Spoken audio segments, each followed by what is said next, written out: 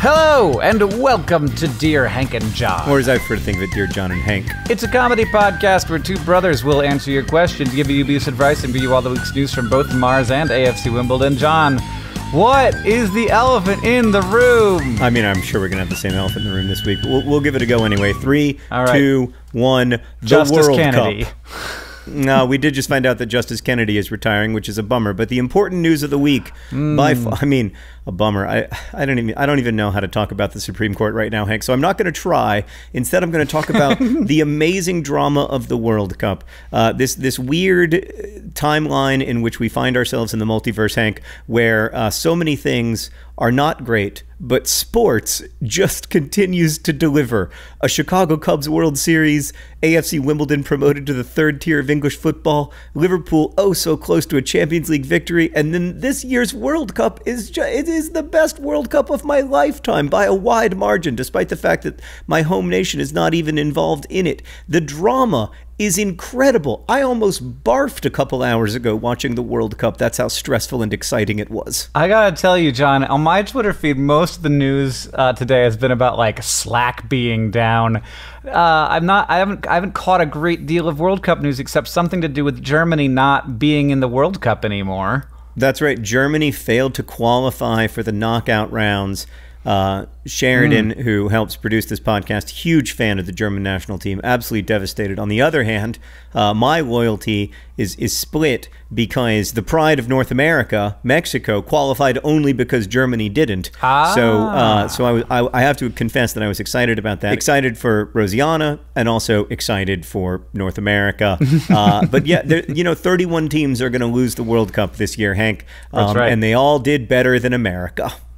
That's right, and they can go home feeling good about that. So is Mexico in the knock? Did they qualify the, for the knockout rounds, or did they? Are they That's just right. moving up? Nope, they're in the round of 16. In fact, Oh. by the time this pod gets uploaded, they may be out of the World Cup. It, Okay, it happens so they so have fast. to play. They have to play a game to see if they get to the next round. Well, now it's now it's the knockout round, so called, Oh. because every game is win or go home.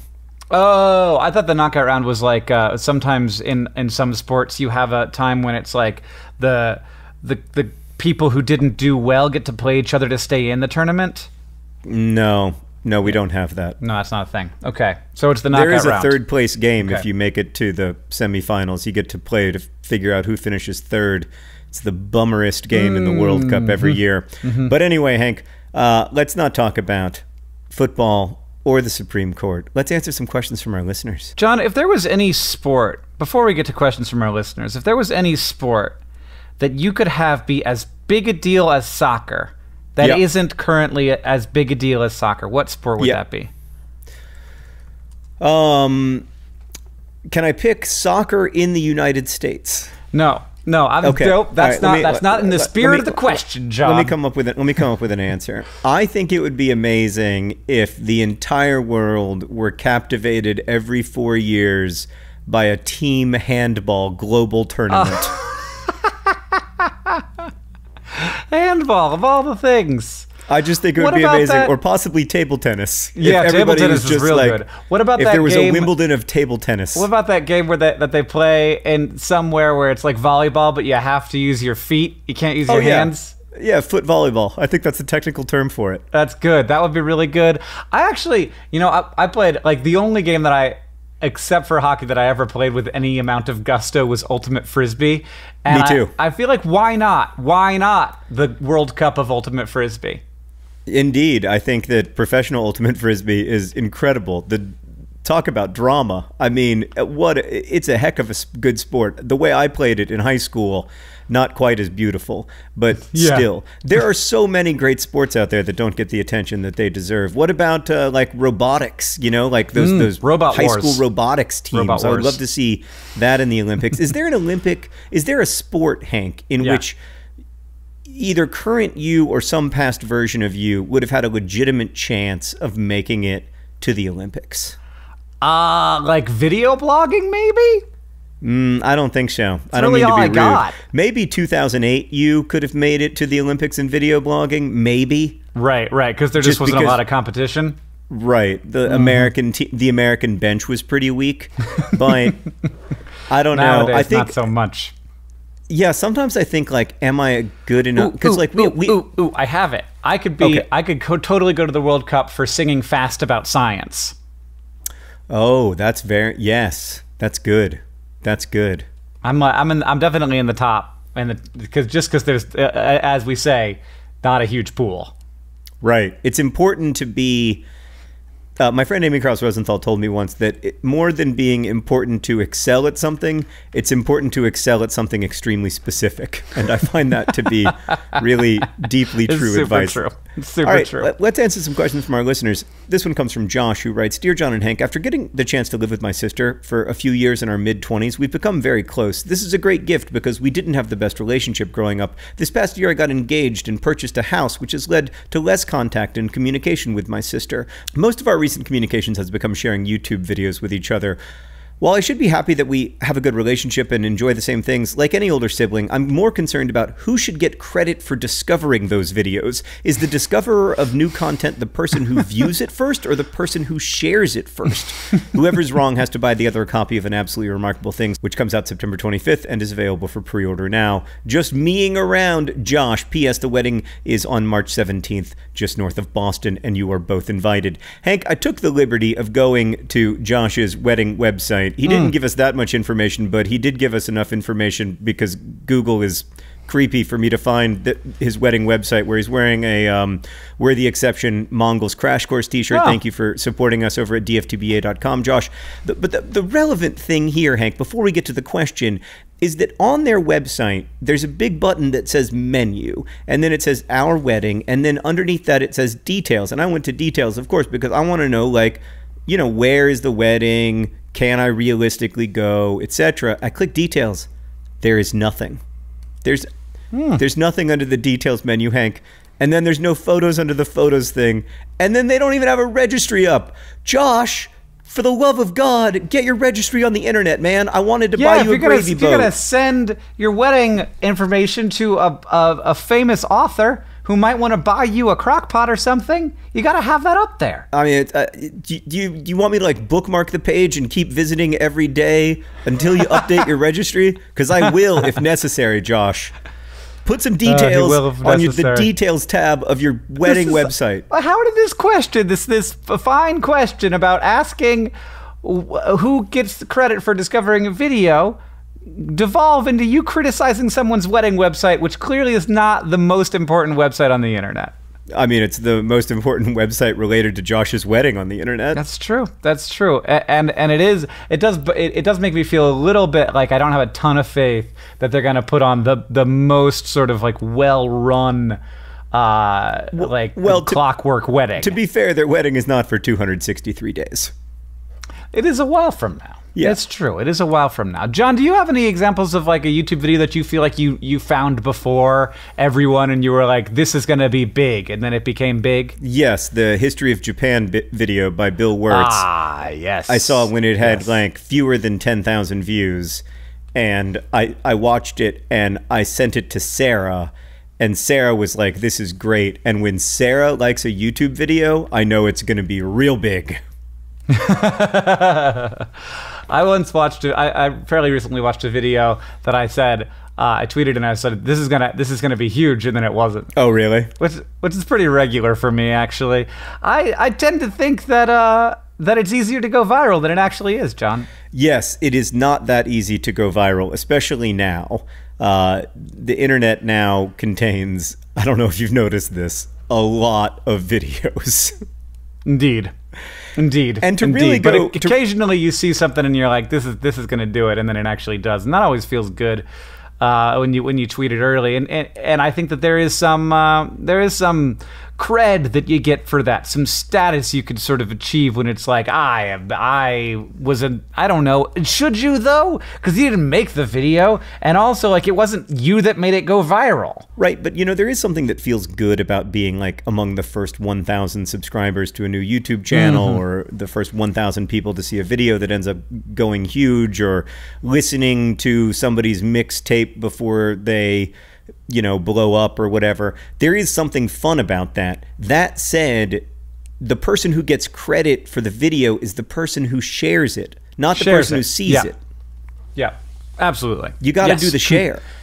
Yeah, Eh, because because otherwise you could just be lying. Like you're gonna like go show me your like a screenshot of your YouTube history. You might be just editing editing the HTML. I can't believe you. I don't have any reason to trust you, Josh. Also, on the 2018 internet, if it didn't get shared, it literally didn't happen. Yeah, that's uh, yeah. Shares shares or it didn't happen. I uh I can't trust anything anymore. So if I didn't see if I didn't see an email from Josh, then then I I trust I trust no one. Yeah, I, I mean, I don't even, I don't even, I, I, oh God, I, Hank, how did we get, how did we get to this dark timeline? Sorry, what's the next question? This next question comes from Alex, John. It says, "Hey, Hank and John." That's what it says. Starts out Not super dear, casual. Just hi. Hey. Yeah, super cash, super Hey. cash. Alex says, "I say like a lot, as do my friends, as do you guys." It's true, we do say like. Uh, but whenever I go home, my mom makes like a big deal of it. Some. It doesn't say like. I just inserted a like because that's what I do. Sometimes stopping the conversation whenever I say like. I never notice it until she points it out, and now I really listen to what I say. Is it just a normal part of our language now? Do you notice yourself doing it all the time? Pumpkins and penguins, Alex. Your mom's just harshing your buzz, man. Yeah, she's I mean, harshing on your it? yums, Yuck. buddy. yeah, Just- harshing on your yums. It's not cool. Here's not the thing about like, if you don't say like, you either say said constantly, Right. or you don't have those weird pauses in your speech, which I think makes your speech sound more weird, at least to me. Like, there's a reason we say like, and it's to create a pause. It's to create a moment for us to think, but also to create a moment between whatever we just said and what mm-hmm. we're like about to say. And then the other Right. way you use like is when you say like that, like the person was like, I'm so tired. And then the other person was like, I'm also tired post VidCon. And then a third person was like, well, I'm tired of trying to brave uh, the onslaught of horrors that I see from the social internet, and I'm disgusted and despondent with the state of discourse in the United States. And those people Right. didn't maybe literally say those things, and that's why you say like is because you're not actually quoting someone. You're trying to deliver the content of what they said, or at least of what you heard. So I, I actually think that like plays a good role in our language. Yeah, I, I, I think definitely there are times when I listen to someone talk and I think to myself, that's too many likes. Sure. Um, but but I I use it as an um. I also um, and we're professional talkers on this podcast. if we are Mm. Doing it, Semi-pro. sem- semi-professional talkers, if we're doing it and people are okay with it, I think it's probably okay at this point. So you can tell your mom that instead of saying like you are not going to say shirk all the time and she's going to have to deal with that and you and you'll be you'll be shirk mom i am just going to say shirk all the time now Right. Nobody wants to hear. And then she was shirk. I can't believe Germany didn't qualify for the knockout round.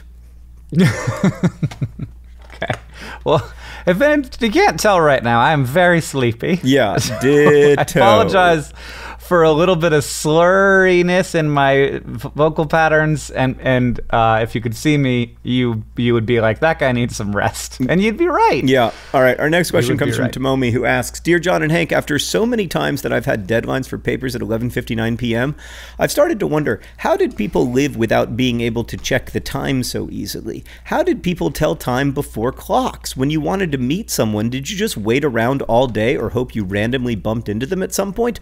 Also, it would be a cool challenge to try to go the whole day without checking the time in a place without Hmm. much sunshine. It's time to get an absolutely remarkable thing." Tomomi. Uh, John, Yeah. when I read this question, I thought to myself, here's the thought I had: How do you turn in a paper at 11:59 p.m.? I also had that thought. I was like, "Are you like rushing across campus?" And then I realized, "Oh, right, you're emailing Oh, Yes, it." Emailing it. Or, when we when we turned in papers, when we went to school, we handed them to the professor on the day they were due when the class happened. Absolutely, one hundred With, with our hands. It was due at the beginning of class. Occasionally, things would be due at eleven fifty nine p.m. I guess, but usually No. only when I was turning them in late. Right. I, I never remember doing anything at 11. And also, this is sort of like, it's hilarious to me that, that a professor is like sitting there at their desk being like, it's 11.58, to about to get a bunch of papers all at once. Also, like you've literally waited to the last minute. Literally. right. I Come feel, on. I feel like nothing inspires a lack of confidence in a professor quite like reading a paper that was turned in at 11:59 p.m. in 42 seconds. You know, like Yeah. what that Yeah. screams to me is I was not prepared. This is not done, is what it says to me.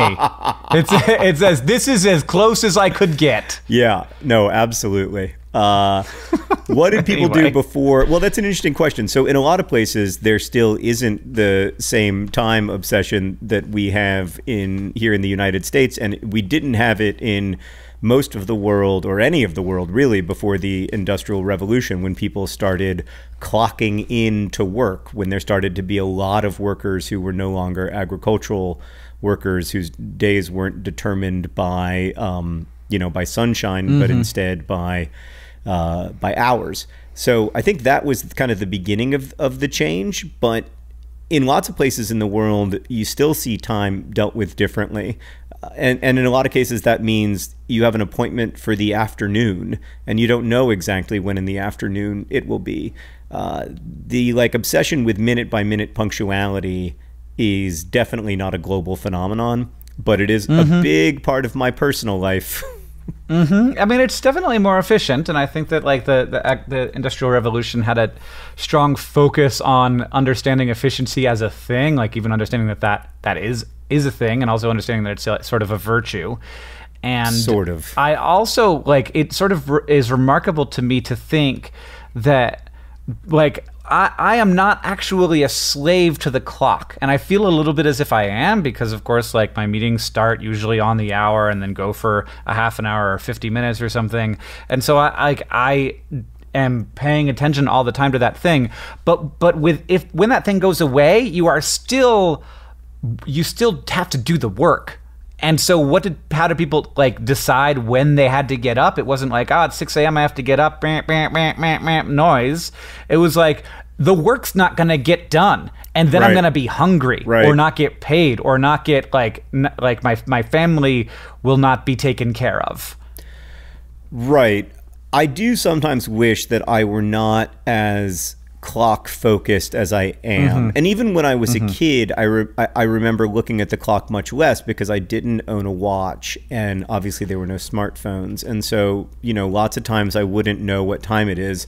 Uh, these days I can usually at least during the day tell you what time it is within 10 minutes just by thinking without looking at a clock, and that's a little distressing to me because Yeah. you're right that the industrial revolution put a great emphasis on efficiency and the value of efficiency but also in a way it created this idea that our lives exist to run efficiently and to like fill needs in marketplaces and mm-hmm. it's a little disturbing to me because sometimes i wonder does the market exist to make people better or do people only exist to make the markets more efficient And then the last thing I will add, I'm not going to add anything to that particular line of thinking, but there was a time when clocks had to be quite large, and so you could have like a big one in your house, but you certainly weren't going to get one on your wrist.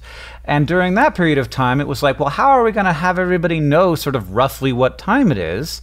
Uh, and if you're going to try to solve that problem, one way to do it would be to uh, build a very large clock that you could see from far away, and or ring a bell at every hour for the number of like and, like ring four bells if it's four o'clock which is why that happens. And it's sort of weird to think like this is just a thing that happens. We don't need this. We continue to do it. But at one point it was a very important part of uh like everybody with being on the same page basically There's a clock tower by my house that rings on the hour, and I still love that. And it reminds me of when I was in college, you were not considered late until the clock mm. tower had banged for the last time. So if it was Right. 11 and you got there before the 11th bing, you were on time. I loved and that. then one o'clock it, it starts to get a lot more tight Exactly. I tried to schedule all my classes for 11 to save that six seconds because I'm so time obsessed.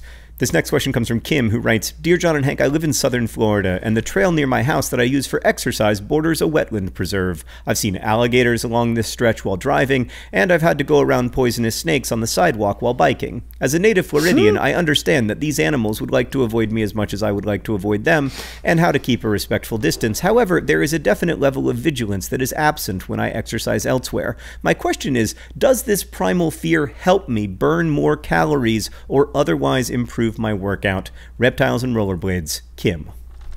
If there's actually rollerblades involved, you really should have led with that because the idea of you like jumping and skating around a bunch of like coral snakes just really makes my day. Right. Uh, I, am also seeing you like do a do a jump off the back of an alligator like it's a ramp, and I'm just liking this.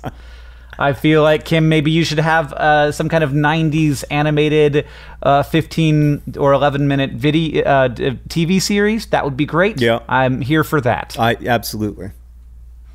I also think that in general, anything that motivates you to to ride your bike faster is good, and uh, the fear of death probably is providing that. I think you definitely get an adrenaline boost from that. Like I've run and barely missed a snake before, like with my footfall. Oh, really? And Yeah. for like five minutes after that, I was definitely running faster. Now, I don't know that it hmm. increased my overall time because for like Right. the five minutes after that, I was running slower because I was tired. But I do think that getting an adrenaline boost, it can hurt. So I would say get as close to those alligators as you can. I mean, actually, Right. like encourage them to bite because that's going to be a big adrenaline boost.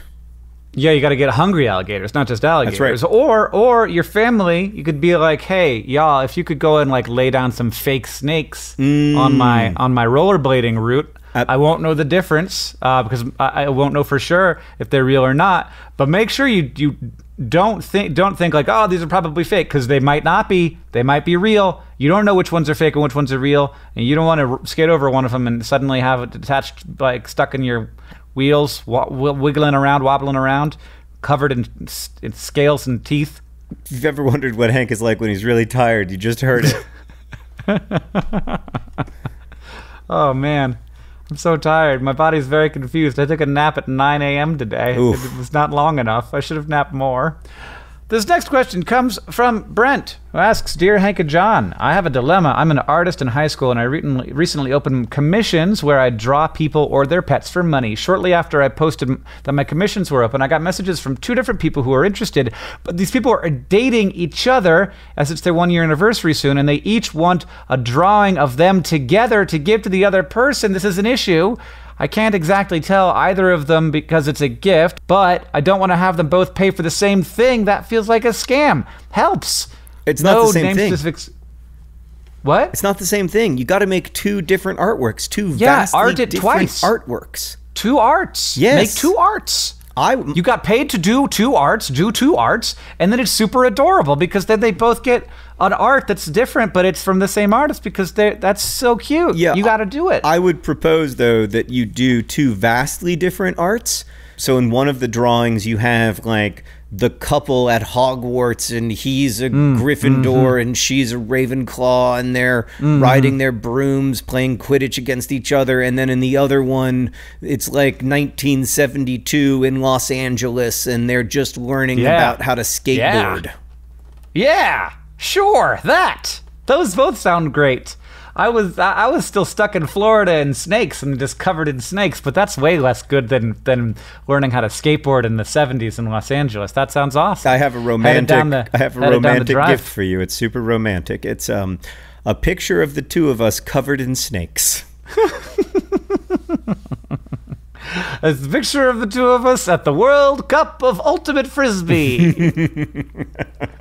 Which reminds me that today's podcast is brought to you by the World Cup of Ultimate Frisbee. the World Cup of Ultimate Frisbee.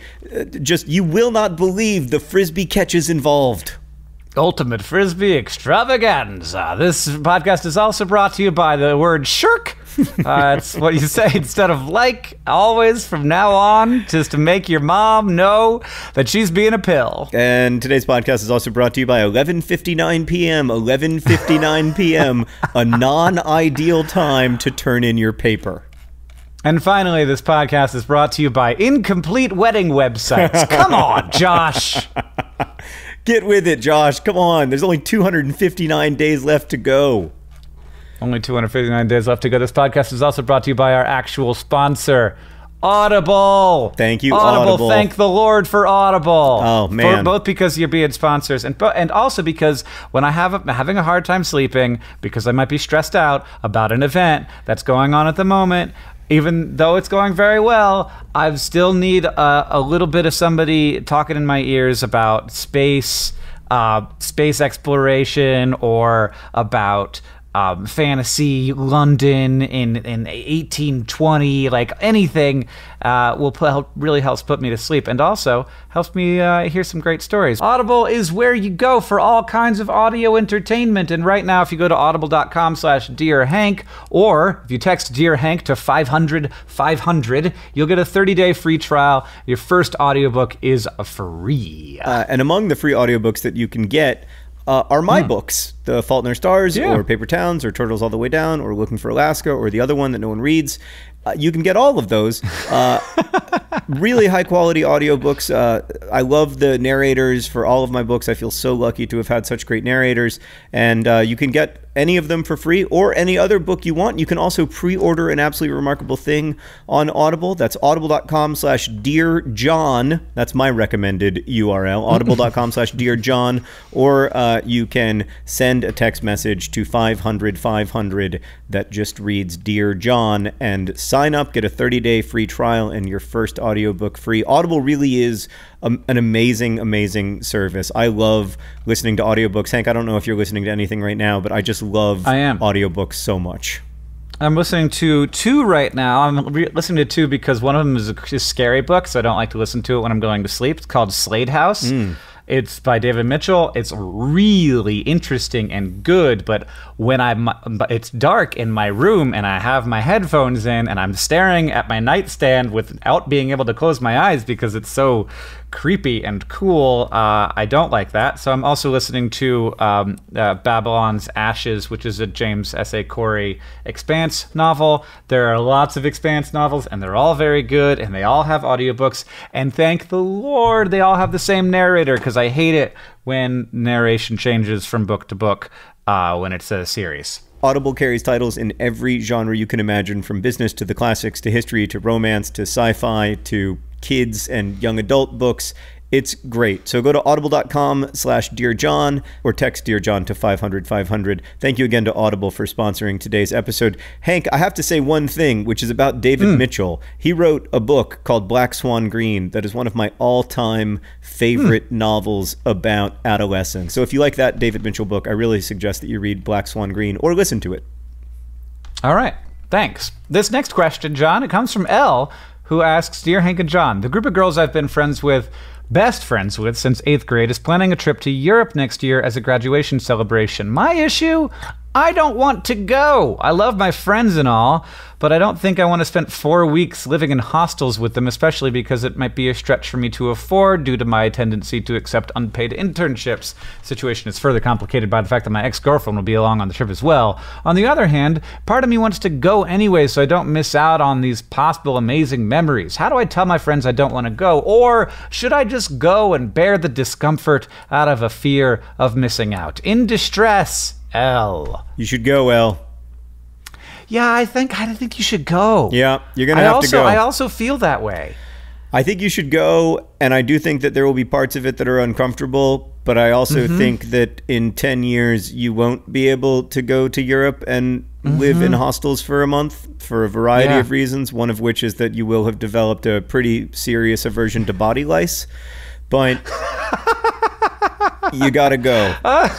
I was, I was thinking just you know the normal aches and pains of being 30, but uh, but also that I think I think probably Elle might now have a pretty serious aversion to body lice. The good news is it's manageable. It's true. It's not fatal, El, so don't worry about it. head to head to the hostels. No, I, I think it's I think it's such a great opportunity and you probably don't know how fun it will be until you go. And it will Right. be stressful and Yeah. scary, but it will also be many other things. And the memories that you will make on that trip, I think, are really valuable. And so, obviously, Hank and I don't actually know what your situation is. And it may be that you just can't bear to go and you really can't afford to go, in which case, maybe don't. But I think, I think you should go. Yeah, all, all all things being equal, not knowing a ton about the situation. Yeah, I, I, I feel the same old way. All right. Hank. Mm-hmm. We got a lot of questions this week about U.S. immigration policy, and I want to mm-hmm. ask one of them. This one comes from Julissa, who writes Dear John and Hank, I live in McAllen, a city at the Texas Mexico border with a Hispanic population that makes up the vast majority of the city. I'm very fortunate. I'm going to college and will be applying to medical school next summer. I had a great cultural upbringing. My parents are both of Mexican descent, and I would not have chosen to have been raised anywhere else in any way else. However, when I began hearing about the detention centers in cities at the border, I discovered much to my horror that one of the largest, if not the largest, detention center for undocumented immigrant children is in my city, actually down the street from where my sister goes to high school. It's very hard for me to watch the videos of the detention centers because the people in them are the same types of people that I see at home or college or at the grocery store. They're just people who were born half an hour away, and for trying to live that half an hour up north, they're having their families torn apart and their kids put in cells. Yet, as much as I'm nauseated and deeply saddened by what is happening in my city, I feel a sense of defeat as if there's nothing, aside from volunteering and running supply drives, which I'm already taking part in, that I can do to stop this administration um, in their quest to, to stop this administration in their quest for wins at politics. Any advice on how to stay optimistic and feel like my voice still matters in these dark times? French the llama, Julissa. I really don't know. Like I'm definitely struggling with this, but but I do want to say that um, just by writing in and giving us that perspective from a city who from a person who lives in that city uh, is very helpful. Like it's it, that that is a voice that you know a perspective that I haven't heard a lot from. Yeah. and so that that's nice for me to have and something that like I'm glad that you could provide for us. Yeah, it it is really difficult right now, um, and I don't have any solutions. I don't know how to change our political life in the United States except by voting. And so I would really strongly encourage if you are 17 and a half and you are going to turn 18 before November, if you're 23 and you've never voted because you don't think it's important, it is important. It does matter. It matters ultimately more than all the billionaires spending all of the money trying to push policy this way or that. Like you can't let those people decide who gets to determine the future of our country. So please vote. The argument that I see on the other side of this, Hank, and I have tried to pay attention to that argument, is that we can't be a nation without borders, and that somehow people on the left want us to be a nation without borders. I think that's just completely untrue. Um, I, Yeah. I, I think that that that is uh, a straw man argument. I haven't heard anybody say that we shouldn't have borders.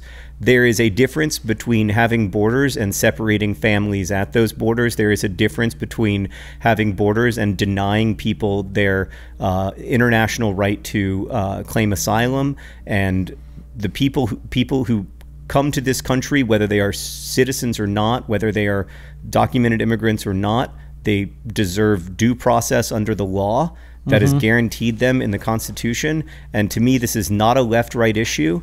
And I, I think it's really important, if we can, to stand up as a country and say this is not a left right issue and refuse to accept it.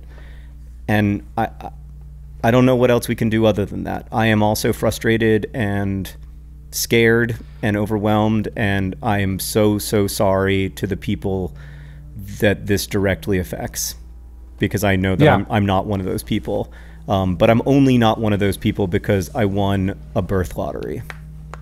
and I, I came into to, to you know the days before VidCon. This was all sort of happening, and as we arrived at VidCon, you were like, "Well, uh, Trump signed an executive order that's going to do something, I guess," and and it just makes it like it's sort of these additional complexities that it's like, well, what does this mean?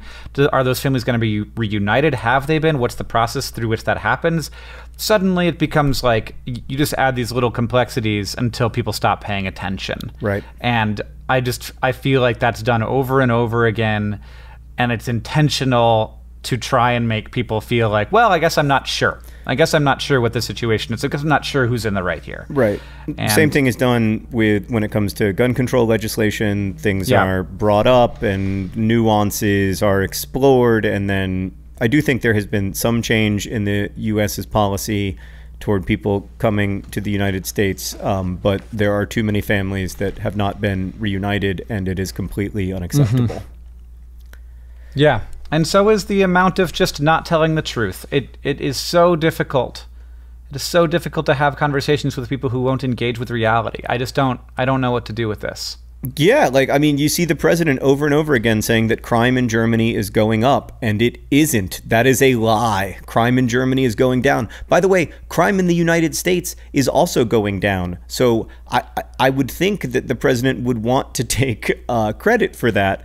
But I think what the president really wants to do is make people feel afraid. And the truth that crime in the United States is declining, as it has been for 40 years, uh, is not something that will make people afraid, and so it doesn't get any doesn't get any emphasis. I've got a one that's a little bit more light. It's from Abby, who asks, "Dear Hank and John, after being a traditional academic overachiever for the last 22 years, I finally graduated college. Next year, I'm starting law school because apparently I haven't had enough school in my life yet. But for the summer, I got my dream summer job, selling popsicles for King of Pops. It's the best. I get to hang out outside and bring people the summer joy of tasty popsicles and hang out with awesome coworkers. But all my friends and family act as though my summer job is a waste of time or unimportant in the scheme of my academic career. My grandma even went so far as to ask how I'm possibly occupying my time. The thing is, I know that getting this job was the right thing for me this summer, and I'm having an awesome time. What is your dubious advice for dealing with people who think that you're wasting your time just because you aren't doing something traditionally thought of as successful? Spaghetti, squash, and seagulls, Abby. I would anytime somebody says that to you, I would hand them a popsicle and say, "F- off." I love this so much, Abby. You're my favorite. I think it's so wonderful. Carry around a cooler at all times, and anybody, anytime somebody's like, "Wow, I can't believe your job." The summer before you go to law No. school is selling popsicles, and you just hand them a popsicle and you say, F- you. no, John, no. No, obviously you say, suck on this. No, that's way better. That's so much better, and it doesn't have to get bleeped. It doesn't have to get bleeped. Uh, but yeah, it's, I mean, man, first of all, Abby, it's so important for us to have a variety of experiences in our life, not just the ones that, uh, that, that, oh God, that carry us, like not just the, like the chute down which we are supposed to slide into, into success. Like take a diversion, have a good time, and, and also like have a job that, you know isn't isn't constant pressure isn't work and law like being a lawyer is going to be hard and time like you're going to have to grind and work 80 hour weeks sometimes and it is going to You don't know be what it's like to work for King of Pops. Maybe it's eighty-hour weeks. We I don't, know. You're right. You're right. Maybe it's very hard. It seems it seems that it seems that it's not. It seems that my my guess is that legally King of Pops does not want you to work into overtime hours. I'm trying to find out where where where King of Pops is open because I'm on their website right now, and it may be the best designed. I don't want to go back to criticizing uh, wedding websites, but uh, Josh. Before you finish designing your wedding web- website, let me encourage you to check out kingofpops.com because this is a fantastic website. And they got a Pops by Mail section. And I've never even heard of this company, but Abby, Ah, me either. I'm not just buying some pops, although I am. I'm buying a box of pops. I am also buying uh, a King of Pops T-shirt because they're phenomenally good T-shirts. So There's, this is so cute. I love it. It's great. There's a happy counter at the top right where you can submit a happy moment that includes a, a pop story. yeah, this and they've had stuff. 190 happy moments submitted. Where is King of Pops? I want to. I want to open a franchise. They're well, they're committed to staying in the South, and their headquarters are in Atlanta. Uh, that's not great. I'm not. I'm very Why are you committed to staying in the. South, King of Pops? Why not? Work with me. Work with me. Well, yeah, we want to open up a King of Pops joint in Missoula, Montana, which is yeah, where the where south it's where of it's Montana. warm for literally a month. Yeah, but people, you know what, Hank? Pe- Alaska has per capita the most ice cream consumption of any state in the union. Is that for real? No, I made it up. All But it could be That true. so- sounded like the kind of thing you made up. It could be true. I'll tell you what, this King of Pops website is so good. I want to buy a King of Pops. This is it, Hank. This we found our thing. We're not going to be the people who bring back Omegals. We're going to bring the, be the people who bring King of Pops to Missoula. That's right. I I, I want to own. I'm gonna buy a part of King of Pops. Is that an option? Who who who's available? Meet the team. Yeah, can I buy? can I call? How do I buy? How do I buy stock in this in this company?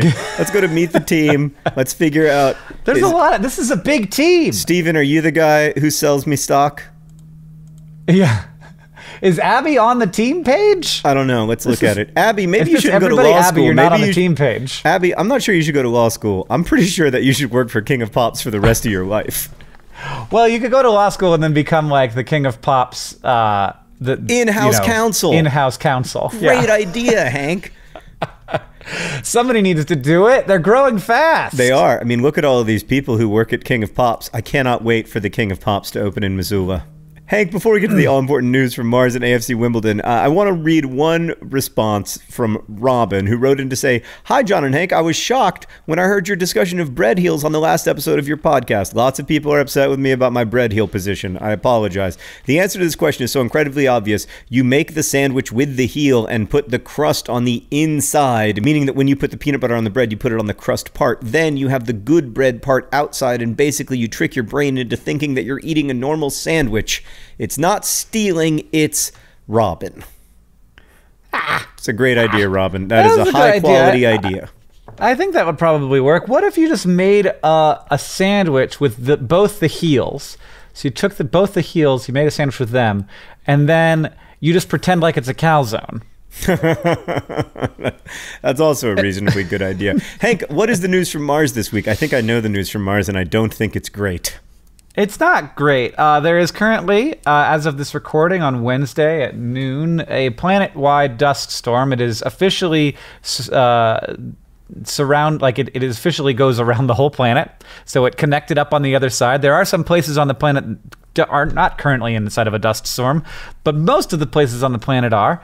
And uh, and that has included for the last like two weeks the place where Opportunity rover is. Opportunity landed on Mars in 2004 and has been continuously operational since then, though it has had moments of outage. For example, during a dust storm, I think in 2007, uh, that that uh, turned that sort of like shut it into low power mode for a period of time. Opportunity is powered by solar panels, so obviously uh, anything that's blocking out the sun is bad news. And Opportunity also has to have uh, part of its solar panels like operation is not just to power the rover, but to actually like to power a heater that keeps the rover warmer than the surface of Mars, so that all of its stuff works. So if Opportunity gets too cold, it will its batteries will not be able to recharge. It will not turn back on, and that will be the end of the Opportunity mission. To be clear, over 5,000 days on Mars is a lot more than we were expecting to get out of this thing anyway. So it's been a remarkable mission with a lot of scientific achievement. And if this is how it goes out, then that is how it goes out. But there is hope still that it will make it through this dust storm. It's just been a very long storm, and Opportunity has been in, in like its sort of fault mode where the only thing that the battery is powering is the internal clock, uh, so that it doesn't lose mission time. Nothing else is on, so it you know they're completely out of touch with opportunity right now, and they're just gonna have to wait and when this uh, when this dust storm ends, and then and then the storm will end, and then after a while all the dust particles will fall out of the atmosphere. Those are two separate things, and then you might also have to wait for a, a clean wind to come and blow the dust off the solar panels before we know for sure whether opportunity is going to come back and say hi again. Well, it will certainly be a sad day whenever that day comes um, that we lose uh, the Opportunity rover. But it is an incredible story. I mean, it's incredible that it's been there for 15 years. It's just, it's phenomenal. So hopefully there's some joy in that. But it is a very uh, sad day if this dust storm proves to be the end of uh, proves to be the end of our, our time with Opportunity. Yes. And John, how's AFC Wimbledon stuff? You got any new players? got any big big infusions of cash? We've not had a major infusion of cash. Uh, uh, certain uh, American young adult novelists are uh, increasing their sponsorship next season. that That's seems to have That's been good. our That's a good piece of news. that seems to have been our primary infusion of cash so, so far as uh, that I can see anyway. Uh, there has been a, a- quite a bit of news. The the biggest news, the headline is that Lyle Taylor, the great Lyle Taylor, the Montserratian Messi, uh, the the legend who scored in the League Two playoff final to help send Wimbledon into League One, who uh, had so many important goals for us last season to keep us in League One. He is moving on. Uh, he has signed for Charlton Athletic. Uh, it's disappointing because Charlton are also a League One uh, side. Uh, and I would have liked to see Lyle move on um, into the uh, the second tier of English football if he was going to move on from Wimbledon. That's not how it happened. I mean, they certainly have a much higher budget than Wimbledon does. I'm sure that you know, and obviously, you know, you got to take care of yourself during the few years that you have as a professional footballer. He wrote a very nice letter on Instagram uh, in which he said it's been the best three years of my career to date uh, and talked about some of both the highs and the lows and says it's been a real honor to play for Wimbledon, to wear the shirt, and to help in this last chapter of this unique club story. Um, and I wish everyone associated with the club the best for the future. Still a huge bummer. There's no getting around it. I have to say, though, personally, I am so grateful to Lyle Taylor. He was always kind to me, incredibly kind to Henry when we uh, came and watched a game together, um, and is just just a wonderful person and obviously did so much for Wimbledon the last three seasons. And I wish him all the best at Charlton. We have gotten some new players. Uh, we also should should say that we lost Darius Charles as well. Great central defender moving on to Wycombe, which is worrisome. But uh, we have just signed in the last few hours a goalkeeper on loan from Millwall. We've had a lot of successful on loan signings from Millwall over the years, so I'm hopeful here. His name is Tom King, and uh, that's good. He has a good last name from the perspective of, you know, like he could be the king of Wimbledon's Right. goal. That's promising. He wears number 13, so he's not a uh, person who's afraid of. Super, he's Not not, a- he's not not, a superstitious superstitious man, man. which I think is a good sign. Yep. And he is a goalkeeper. Unfortunately, this likely means that we are not going to have George Long next season. I assume we would not be signing uh, Tom King if we were going to have George Long. So that's another player we're going to have to say goodbye to. But, Hank, I have to get to two important signings that we have made, or three important signings, actually, uh, just in the last few days. Yesterday, we signed a new striker. He's 30 years old. His name is James Hanson, and he has scored so many goals against AFC Wimbledon. Like every time he plays us, no matter who he's playing for, he scores. So hopefully, uh, he's going to keep his good goal scoring form now that he's playing for us. Um, he is a big guy. He's a target man. We haven't had one of those in a while, so I'm excited that we've got one.